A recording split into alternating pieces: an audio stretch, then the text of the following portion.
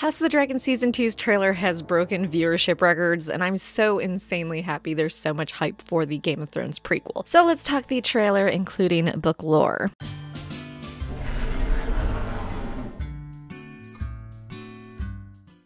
So the first shot we have is Rhaenyra looking over Shipbreaker Bay and at Storm's End, obviously very distressed because this is where she lost Luke. It's going to be incredibly heartbreaking if she's trying to find what's left of Luke's body. I'm guessing she doesn't know exactly how bad his death was and that he's in very, very tiny little bits. I guess given exactly where his bits fell during Aemond and his fight, it could be either near impossible to find his body or again, she just finds little itty bitty pieces. The sun on her face is interesting. If we went right where she was at Dragonstone to Storm's End, she really wouldn't have such a dirty face. Now, this could be that she had a freak out and she threw herself to the ground and she was grieving, or maybe she found his body and then just, you know, again, threw herself on the ground, got covered in dirt and all that. However, a darker guess would be that she burned some things around Storm's End with her dragon Syrax when she can't find his body or when she does, or before she does. Her going nutso on Storm's End could explain why Lord Baratheon, despite swearing to the Greens and having a daughter betrothed to Aemond, was reluctant to get involved in lore due to dragons. He saw what one dragon could do and he just noped out until the very end of the war. I asked on my live chat what you guys thought, and it seemed like the majority were for that she does burn a little bit of the surrounding area and then she finds Luke's body, and then the next highest one was that it's just that she's looking for Luke's Luke's body. But you can let me know in the comment section down below if you think this is just her looking for Luke's body or if it's both. She burned the area surrounding in anger, but also was looking for his body. Next shot is Aegon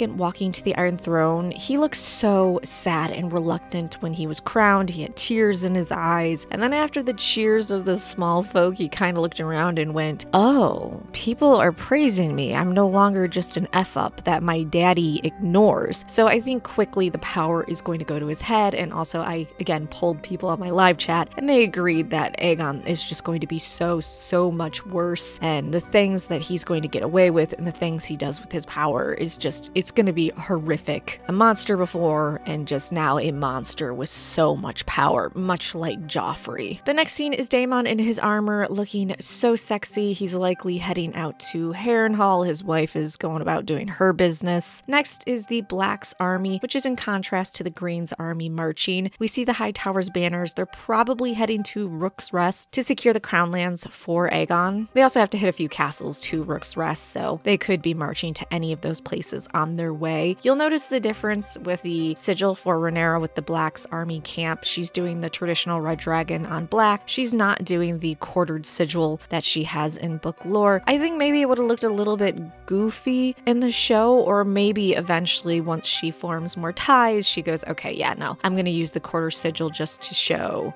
where my alliances are. We see House Rosby, which is the Red Arrows, and House Stokeworth. They will be added to the Green Army despite being black loyalists at first. This is just because Lord Rosby was imprisoned in the Red Keep when he refused to bend the knee when Aegon II usurped the throne, so he was forced to give his army to Aegon II or be executed. It was kind of an easy choice for him. Lord Stokesworth changed sides just to spare his city and ended up joining the Greens. So these two two houses' armies will be added to the Greens before heading to Rook's Rest. If you think Lord Rosby should have just been executed and still stood against the Greens to support the Blacks, you can let me know in the comment section down below. We have a quick shot of Otto, probably him just chatting with Alicent. I find it really funny. All Otto's talk about, oh, mistakes were made in the hours following Viserys' death. It's like, well, yeah, one, you were trying to usurp Rhaenyra's throne for years now. Two, not telling his eldest daughter, super messed up. Not having any of the lords at Aegon II's coronation,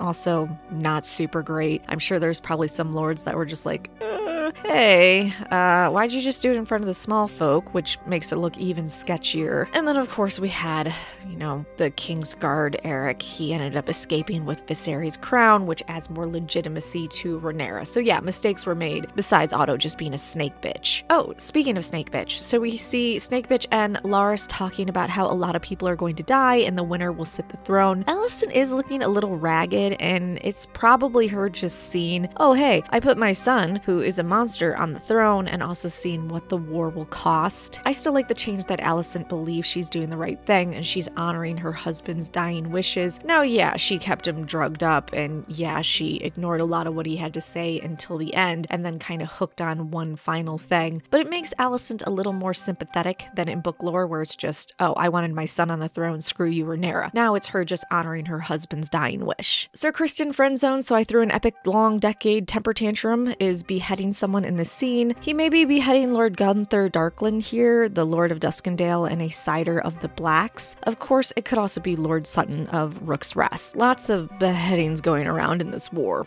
or, you know, in war in general. Both houses are by the water, so it could go either way. I'm kind of leaning more towards it's Lord Darklyn here, though. You'll notice, just like I was talking about how the difference with Rhaenyra's sigil from book lore, Aegon II's, again, his sigil is a little bit different. It's a gold dragon on a green field, so gold dragon for his dragon Sunfire, and then the green background for his Hightower heritage or bloodline, unlike in book lore where it's on a black field. I don't mind this change, and it makes a lot more sense to me that they would do it. We have a small council trader meeting. I thought at first this could be Alicent, but the playing around with the ball, I think is more Aegon II showing just he really doesn't care about his duties and he's just excited about all this new power to get away with things. So I'm more leaning this is just Aegon pissing around during a small council meeting. Shots of our two monarchs, Aegon II on the Iron Throne and Rhaenyra likely at Dragonstone, both looking amazing. Uh, Rhaenyra in general, her outfits are just pure fire this season from what we've seen. The dragons on her shoulders are just 10 out of 10. Her necklace is actually the same symbol as Baela's is wearing four earrings in a future scene, so I love the idea of the stepmom for his cousin's matching jewelry. Now, it would be interesting if she had it made for them both, or if it was a gift from Daemon and he just, you know, kind of lazy went with a theme. Rhaenyra looks so good in Viserys' crown, too. We see a snake blowing out a match. Alicent is probably praying to the Seven to protect her family and end the war soon. Alicent is definitely a religious nut. We remember that she tore down all of Viserys and the Targaryens' decor and the Red Keep to replace it with the Faith of the Seven symbols and artwork. It makes sense as her hometown, Oldtown, has the Faith of the Seven's headquarters located in it as of right now. Later on, the Sept of Baelor is created, and that changes things a bit. We have Alyn of Hull looking at Seasmoke as the dragon goes overhead. This could either be him maybe trying to tame Seasmoke, or this could be Laenor is back to have a conversation with Rhaenyra. We have the Greens arriving at Rook's Rest for the big battle. We see a lot in general fighting going on. A lot of the people, the armies we've seen burned by dragonfire seem to be the Greens, the sigils that are seen in those brief moments. So I'd be curious to see if this is actually the blacks on their dragons massacring them or if Aemond loses control of Vhagar again. Rhaenyra at Dragonstone in front of the painted table discussing war plans. We have the loyal Kingsguard Sir Erryk, Daemon, and Rhaenys, of course, discussing, hey, what are our next moves? We get a close up of Corlys, who is probably excited to get back in action. I'm a little disappointed this is the extent we get of Corlys. I figured we'd get him on a ship or something. This is just like the lamest shot they could have done for him. Like, oh, wow, a close up of his face. Thanks, HBO. Daemon could be beheading someone or chopping something up. It could go either way. There is a weirwood in the background. I'm guessing he's in the God's Wood at Harrenhal, which should be the first place he heads to. Aemond in the throne room walking towards the Iron Throne. I'm sure he's just itching to sit on the throne. I wonder if Aegon is going to taunt him about that at one point. Um, interested to also see if Aemond has deep regret for Luke. Are they even going to show that Aemond coming back to King's Landing and being like, hey, guys, uh, I may have committed a war crime, major whoopsie, I'm sorry. Also interesting if we have uh, blood and cheese occur and we don't have the youngest child of Aegon and Helaena, and then, you know, Aegon wouldn't have an heir anymore if Aemond is like, oh, hey, yeah, I'm next on uh, in line for the throne. I'm super excited about this. So it could be a little bit how Daemon in the brothel was like, oh, heir for a day, when he realized, oh, I'm still my brother's heir. It could be the same thing with Aemond, where Aegon loses a child, loses his only heir, and Aemond's like, oh, dang, so sad. This is just looking like Alicent has regrets. Uh, she's probably lost some loved ones at this point, which honestly she deserves. God, Rhaenyra's outfits this season are amazing. She and Syrax are standing opposite of Seasmoke and someone else. This. Could be Laenor coming back to offer aid, or Alyn of Hull. I feel like it could go either way. I'd be curious to see if Laenor offers some help, ends up dying, and then that leaves his dragon open for someone else to claim it. So we have the dragon seed going on. I think they're going to change around the order of events for book lore. I'm not positive, but given what we've seen so far, it seems kind of likely. Helaena is looking up with a black veil flowing around her face, likely after blood and cheese. She's at a funeral. This is also the funeral, or it could be the marching of a dragon's head through King's Landing and them declaring, oh, look, this is the work of Rhaenyra the Cruel. Going back to me saying, yeah, there's a lot of burning people and we're seeing a lot of uh, massacre. This is definitely the Battle of Rook's Rest, where we see a ton of devastation. You can see House Rosby and Stokesworth and other Green Army being burned by the fire. So either it's Rhaenys on Meleys or Aemond has lost control of Vhagar again. I find Rhaenys words to Rhaenyra kinda Duh. One, girl, you could have honored Viserys' wishes when you escaped King's Landing, regardless of you saying the war wasn't yours to start. Two, what do you want Rhaenyra to do? Just let the Greens steal and murder? What is this warning? Yeah, the gods aren't happy if family is at war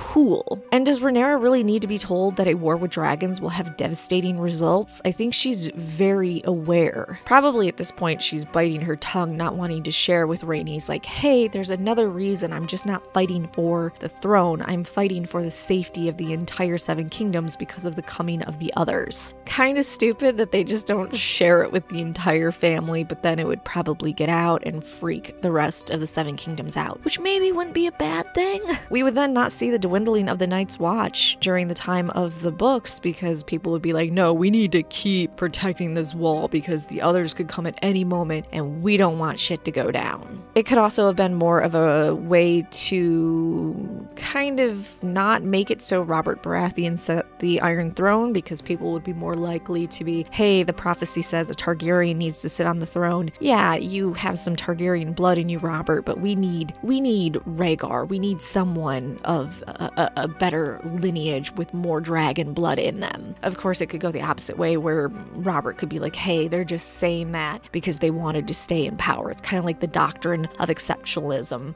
that Jaehaerys did, where he told the faith and the rest of the Seven Kingdoms, hey, okay, the Targaryens aren't gods, but they're above men. So we kind of have special rules and we can do special things that you all can't do. Baela is on Moondancer with the matching jewelry that I mentioned. I just, I think that little detail is so cute. I love the closeness. Now, Rhaena should be at the Eyrie, and Baela did ride Moondancer during the dance, but the dragon was so small that it wasn't until a year into the war that she rode Moondancer for the first time, so I'm guessing they're changing that. So, according to book lore, the Dance of the Dragon starts in 129 AC, and she doesn't ride her dragon until the first time in 130 AC. This change is just likely to give her something to do so that Daemon's two daughters just aren't sidelined. Baela also wants to stay close to Jace. She wants to marry him. She's already betrothed to him, so it it, it makes sense that they're just trying to give her something to do and they're they're sizing up the dragons. If you notice in general, if you follow the, the book lore and then look at the sizes of the dragons, they're not being true to scale. There are definitely dragons that should be smaller and there's definitely dragons that should be